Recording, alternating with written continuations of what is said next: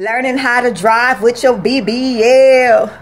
What's up, dolls, beautiful ladies, and future BBLologists? It's your girl, Sweet Pea, back with another video.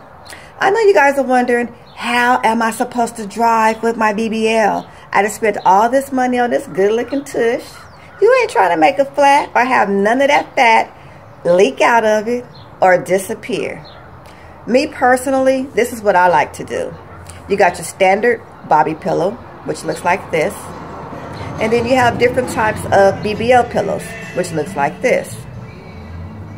Me personally, I don't like putting my whole entire round of my butt on the Boppy pillow. It seems like you're just defeating the purpose.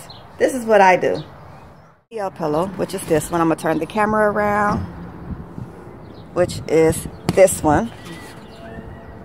And when you put this in, it's actually going to go this way. So you have all this butt that's going to sit right here in this crease and then your thigh portion of your legs is going to go right here. I also have this for my back right here.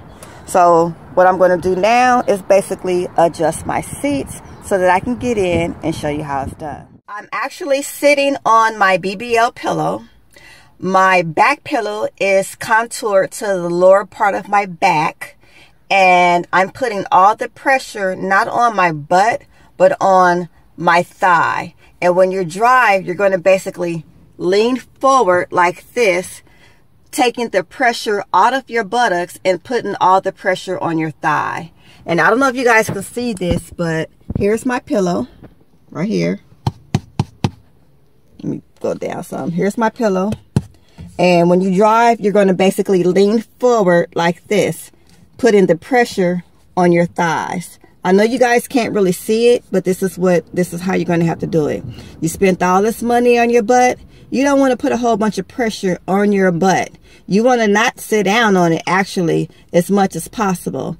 My doctor told me that I was going to be able to drive for about uh, like in 20 minute intervals. So for the first uh, one through fourth months, I didn't drive um, when I got to my fourth month, I probably like drove to the store sometimes and stuff like that. But I drove, went to the store, came back and stood.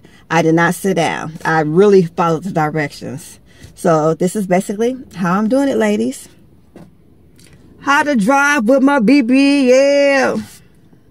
Oh, and for you guys that don't know, I am five months post. I had my surgery on September the 4th. And next month, which is March 4th, will be my actual six months in which I can do anything. I can do the splits, cartwheels, I can twirl it, learn how to twerk, all that good stuff, ladies. So that's basically how you do it. Um, if you have any questions or, yeah, if you have any questions, feel free to leave them in the comment area. I would love to interact with you, answer all your questions. If you would like to see a specific video about BBL surgery, um, put it in the comments. I will more than happily do a video specifically for you because like I said, I've done it so you don't have to. Don't forget to like, subscribe, and hit the notification button because I have a whole bunch of good up-to-date BBL videos, especially for you guys. Thank you, and thank you so much for your support.